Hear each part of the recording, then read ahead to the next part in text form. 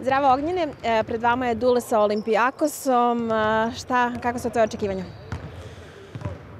Ostale su još te dve utakmice u Euroligi i mislim da nijedan tim ne želi da izgubi, iako smo, ajde da kažem, izgubili teorijske šanse za top 8, sigurno se nećemo predati i nećemo dozvoliti nikoga nikome da, da, da, da nas pobedi. Tako da ići ćemo na pobedu, spremamo se najbolje što možemo, da, da odigramo što bolje tu utakmicu i da probamo da pobedimo pred našom publikom, naravno.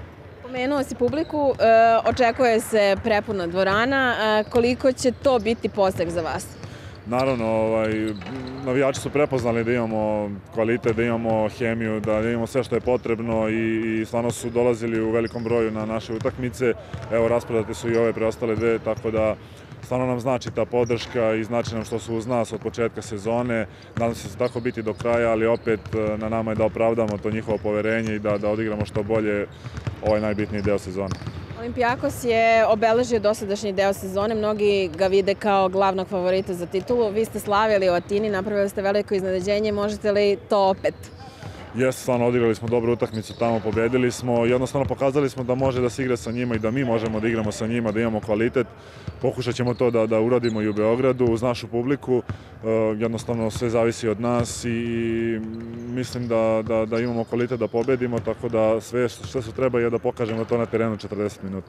Od koga vam preti najveća opasnost iz tima Olimpijakosa? Pa mislim da, da, da to svi znaju, Saša Vezenkov koji sigurno igra najbolju sezonu u karijeri, uspeli smo timskom individualnom odbranom da ga zaustavimo u, Atini. Probat ćemo naravno to da uradimo i ovde i da, da, da probamo da, da dođemo do pobede. Ali naravno nije Olimpijako samo jedan igrač. Uh, to je izuzetno kvalitetna ekipa i kad jednom ne ide, oni opet nađu način da dođu do pobede. Tako da uh, jednostavno timska igra je najbitnija i, i moramo svi da budemo fokusirani. Razmišljate o tome da možete da uh, nadmašite rekord uh, po broju pobjeda, klubski rekord po broju pobjeda i da li zbog toga što nemate šanse da, plas, da se plasirate u top 8 igrate sa manje pritiska nego što je bio slučaj u prethodnim nedeljama? Pa iskreno rekordu ne razmišljamo. Uh, jednostavno igramo samo ovaj, u, ajde kažem, trenutno uživamo u utakmicama i stvarno to sve izgleda kako treba. A ovaj, što se tiče pritiska, nismo ga osjećali ni ranije. Jednostavno imali smo taj lo, jedan loš period koji nas je koštao top 8 tih eh, padova u trećoj četvrtini, u drugom polovremenu generalno.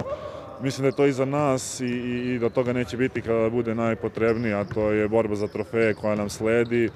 Jednostavno pritisak ne osjećamo, uživamo trenutno u utakmicama i nadam se da će tako biti do kraja. Jel misliš da ove utakmice, baš ove sa Olimpijakosom i Fenerbahče, mogu da vam budu savršena priprema za to što vas čeka, s obzirom da posle toga sledi play-off u ABA ligi i borba za plasman u Euroligu i posle domaće prvenstvo? Baš tako, mislim da su to dve izuzetno kvalitetne ekipe i sigurno će nam pomoći što igramo sa takvim ekipama u pripremi za, za ono što sledi, ali uh, opet, uh, kao što sam rekao, nema opuštanja, nema predaje, nema, možda nemamo teorijske šanse, ali sigurno ćemo, ćemo se boriti da dođemo do pobjede, tako da, eto. Hvala ti, srećno. Hvala vam.